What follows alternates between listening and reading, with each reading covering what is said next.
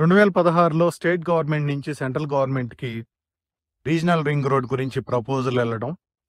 రెండు వేల ఇరవై ఒకటి ఆఖరిలో నార్త్ సైడ్కి రెండు వేల ఇరవై రెండు ఆఖరిలో సౌత్ సైడ్కి కన్ఫర్మేషన్ రావడం మనం చూసాం. ఈ వీడియోలో ఈ రీజనల్ రింగ్ రోడ్ ఎంత టైం ఫ్రేమ్లో కంప్లీట్ అవ్వచ్చో వివరంగా మాట్లాడతాను. అందరికీ నమస్తే అండి నేను Srinivas. Welcome to Hamara YouTube outer ring road history కనుక మనం క్లియర్గా తెలుసుకుంటే రీజనల్ రింగ్ రోడ్డు కన్స్ట్రక్షన్కి ఎంత టైం పట్టిద్దో ఒకళ్ళు చెప్పే పని లేకుండా మీకే ఆలోచన వచ్చేస్తుంది. ఓ రకంగా ఔటర్ రింగ్ రోడ్ అనే ఆలోచన నైన్టీన్ నైంటీస్లోనే ఉందండి.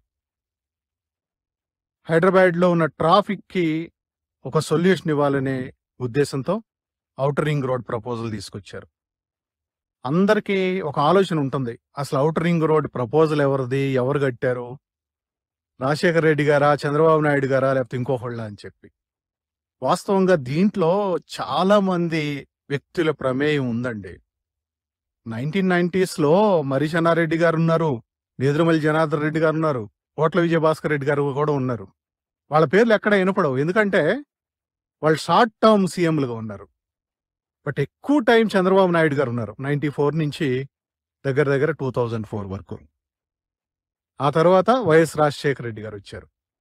ఎక్కువ టైము చంద్రబాబు నాయుడు గారు సీఎంగా ఉంటాం ఆ టైంలో అంటే సుమారుగా నైన్టీ ఫైవ్ నుంచి రెండు వేల నాలుగు వరకు. ఆయన సెంట్రల్ గవర్నమెంట్తో మాట్లాడి ప్రపోజల్స్ పంపించి కన్ఫర్మేషన్ తెచ్చుకోవటం. ఆ తర్వాత వచ్చిన వైఎస్ రాజశేఖర రెడ్డి గారు దాన్ని ముందు తీసుకెళ్ళటం. తర్వాత కిరణ్ కుమార్ రెడ్డి గారు కానీ రోసే గారు కానీ కన్స్ట్రక్షన్స్ కంప్లీట్ చేసి వాటిని ఇనాగ్రేట్ చేయటం. ఆ తర్వాత కేసీఆర్ గారు రెండు వేల పదహారులో మళ్ళీ రీజనల్ రింగ్ రోడ్ ప్రపోజల్ని సెంట్రల్ గవర్నమెంట్ పెట్టడం. మొన్న రెండు వేల ఇరవై ఒకటి ఆఖరిలో నార్త్ సైడ్ కన్ఫర్మేషను ఇరవై రెండు ఆఖరిలో సౌత్ సైడ్ కన్ఫర్మేషను. ఇవన్నీ మనం చూస్తూ వస్తాం. ఔటర్ రింగ్ రోడ్ అనేది ఒక రోజులో కాలేదండి.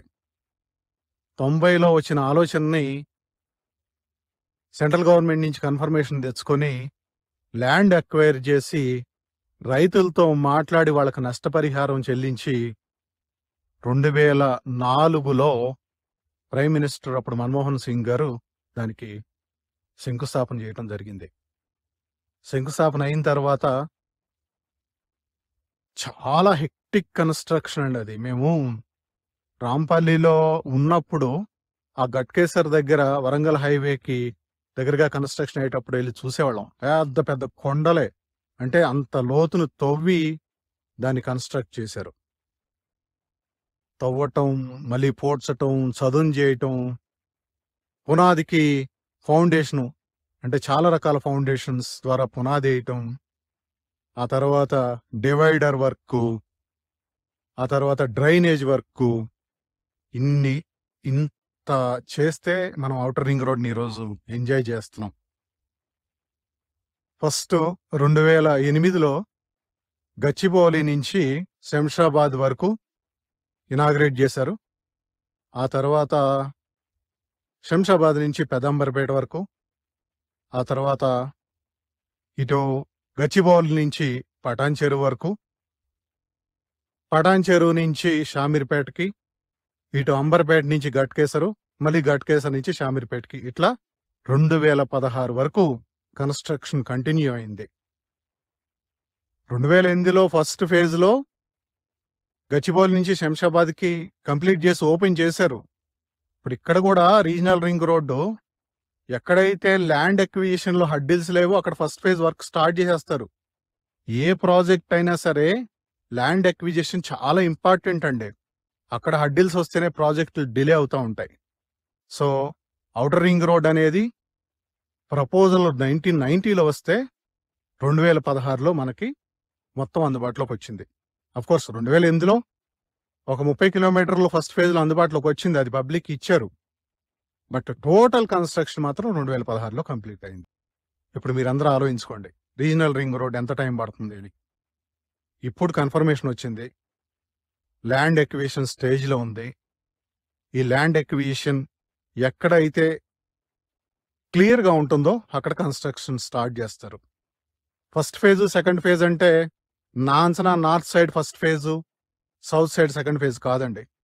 ఎక్కడైతే ల్యాండ్ ఎక్విషన్ ప్రాబ్లం లేకుండా ముందుకు వెళ్తుందో అక్కడ వర్క్ స్టార్ట్ చేసేస్తారు. అంటే శంకుస్థాపన చేసిన తర్వాత ఒక యాభై నుంచి వంద కిలోమీటర్లు మనకి వినియోగం రావాలంటే కనీసం మూడు నాలుగు సంవత్సరాలు పడుతుంది. సపోజ్ నెక్స్ట్ ఇయర్ శంకుస్థాపన చేశారనుకోండి నెక్స్ట్ మూడు నాలుగు సంవత్సరాలు ఫస్ట్ ఫేజ్ అవుతుంది. ఇంకోటి అవుటర్ రింగ్ రోడ్ అనేది నూట యాభై ఎనిమిది కిలోమీటర్లే. ఇప్పుడు రీజనల్ రింగ్ రోడ్ మూడు వందల కిలోమీటర్ల పైన ఉంది కదా. సో మొత్తం కంప్లీట్ అవ్వాలంటే కనీసం పది సంవత్సరాలండి. డ్యామ్ ష్యూర్ ఇది. అట్లానే పది సంవత్సరాల వరకు ఏమి ఉండదని అనుకోవద్దు. ఎక్కడ ల్యాండ్ అక్వియేషన్ క్లియర్ అయిందో అక్కడ వర్క్ స్టార్ట్ చేస్తా పోతారుగా. వర్క్ స్టార్ట్ చేయటం డెఫినెట్గా డెవలప్మెంట్ స్టార్ట్ అయినట్టేగా. సో దాని బేస్ చేసుకునే కదా రేట్లు అప్రిషియేట్ అయ్యేది. సో ఇవన్నీ మీరందరూ దృష్టిలో పెట్టుకొని మీ ఇన్వెస్ట్మెంట్స్ చేసుకోవాలనే ఉద్దేశంతో ఈ వీడియో చేస్తున్నాను. రియాలిటీ అందరికీ చెప్పాలనే ఉద్దేశం అండి. అంతకన్నా వేరే ఎనమాలు వేరే ఉద్దేశం ఏమి లేదు. ఇప్పుడు చాలా మంది రీజనల్ రింగ్ రోడ్ బేస్ చేసుకొని ఇన్వెస్ట్ చేస్తా ఉన్నారు. వాళ్ళు హైవే పక్కన పదిహేను వేలు పదహారు వేలు పెట్టి కూడా కొంటా ఉన్నారు. నేనేమంటానంటే మీరు అక్కడ ఇల్లు ఇల్లు కట్టుకుంటే ఆ ప్రైసింగ్ పెట్టండి అండి ఇన్వెస్ట్మెంట్స్కి అయితే లోపలికి వెళ్ళి కొంచెం తక్కువలో కొనుక్కోండి. అవే అప్రిషియేషన్స్ ఎక్కువ ఇస్తాయి లాంగ్ టర్మ్ పెట్టుకోండి. అప్పుడే మీకు ఎటువంటి టెన్షన్ ఉండదు. రీజనల్ రింగ్ రోడ్ అయినా నిమ్స్ అయినా ఫార్మసిటీ అయినా ఈ ప్రాజెక్ట్స్ ఏమి ఆగే కాదండి.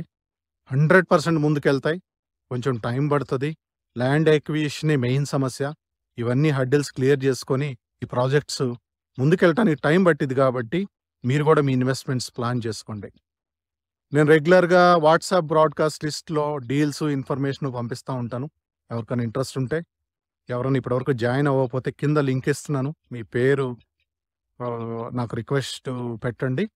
డెఫినెట్గా నేను యాడ్ చేస్తాను. అలానే ఈ మధ్య నేను కూడా ఎక్కువ ప్రాజెక్ట్స్ ప్రమోట్ చేయట్లేదండి దీనికి. ఏంటంటే మార్కెట్ కూడా హైలో ఉంది. ఏది పడితే అది కొనిపించకూడదు అనే ఉద్దేశం. ఒక కొత్త వెంచరు నా ఓన్గా ఒకటి స్టార్ట్ చేస్తా ఉన్నాను. అక్కడ వీలున్నంత వరకు ఇన్వెస్టర్కి బెనిఫిట్ చేయాలనే ఉద్దేశం. జనరల్గా అంటే ఒక వెంచర్ ఎవరైనా ఒక డెవలపర్ చేసినప్పుడు వాళ్ళ మనీ అక్కడ పెడతారు కాబట్టి వాళ్ళు ప్రాఫిట్ చూసుకోవాలి మార్కెటింగ్ వాళ్ళు ప్రాఫిట్ చూసుకోవాలి. ఇట్లా ఇన్వెస్టర్స్ కూడా మార్కెట్ కనుక బాగోపోతే కొన్నాక అమ్ముకోవడం కొంచెం కష్టమేనండి. సో ఇవన్నీ జాగ్రత్తగా ఆలోచన చేసి నేను నా వెంచర్ ప్లాన్ చేస్తున్నాను. వీలున్నంత వరకు ఇన్వెస్టర్కి బెనిఫిట్ ఏం చేయొచ్చో ఆలోచన చేస్తూ ఉన్నాను. నేను ఎక్కువగా దృష్టి పెడుతుంది ప్రైస్ మీద ఆ తర్వాత లాంగ్ టర్మ్ మెయింటెనెన్స్ మీద. ఒక వన్ క్రోర్ అన్న కార్పస్ ఫండ్ ఉండాలి. దాని ద్వారా లాంగ్ టర్మ్ మెయింటైన్ చేసుకోవచ్చు. అలానే అందరితో మాట్లాడి ఇన్వెస్టర్ ఆలోచనలు చేసుకొని ఈ కార్పస్ ఫండ్తో ఇంకేమైనా డెవలప్మెంటు ఆ లేఅవుట్లో చేసుకోవచ్చా అనే ఉద్దేశంతో కార్పస్ ఫండ్ ఉంటే బాగుంటుందనే ఆలోచన చేస్తున్నాను. ఇప్పుడు regional ring road pharma city base చేసుకొని ఈ వెంచర్ ప్లాన్ చేస్తున్నానండి. అవి వచ్చినా రాకపోయినా వస్తాయి రాకపోవటం ఏమి ఉండదు. టైం పడతాయి కాబట్టి అవి లేకపోయినా సరే మన వెంచర్ లైవ్లీగా ఉండాలి. దానికి ఏం చేయాలనే ఉద్దేశంతోనే రకరకాల ఆలోచనలు చేస్తా ఉన్నాం. సో డెఫినెట్గా మీ అందరికీ చెప్తాను నేను. అందరికీ వీడియో నచ్చింది అనుకుంటున్నాను. లైక్ చేయండి సబ్స్క్రైబ్ చేసుకోండి. థ్యాంక్ యూ వెరీ మచ్ అండి.